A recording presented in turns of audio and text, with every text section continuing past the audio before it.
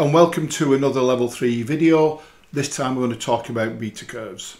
In this video I'm going to introduce you to the uh, laboratory Valley Beater and in subsequent videos I'll go through each of the beater curves one by one. This is a plan view of the beater uh, with all the relevant parts uh, labelled. So as you can see there we've got the beater tub itself, you've got the beater roll, on the beater roll or the bars or knives as some people call them.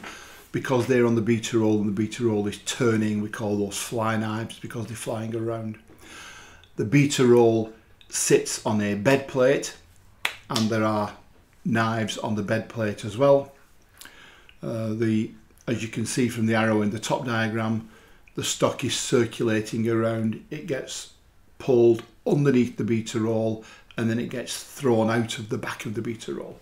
So the area where it gets thrown out is known as the backfall. And of course we've got the wall that runs down the uh, the middle of the beater.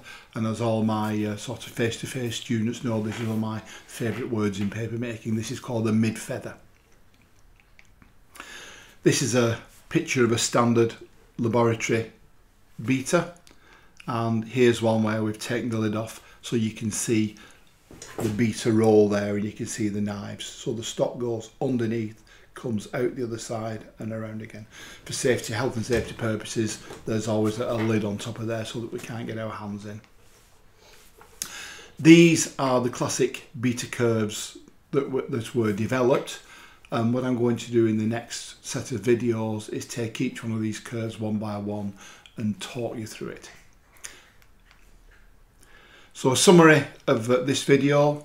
The Valley was the classic piece of pulp valuation equipment. All mills used to have them at one time and they used to sample and test not just uh, new types of fibres but uh, delivery by delivery. We disperse the fibres in water, we take samples at regular intervals. With that sample we determine its, its Schopper-Riegler wetness value and then we want to make a hand sheet and then we uh, dry it, condition it, measure the physical properties and that's what I'll be talking about in the next set of videos. Thank you for listening and if you want to follow us on any of this social media please do so.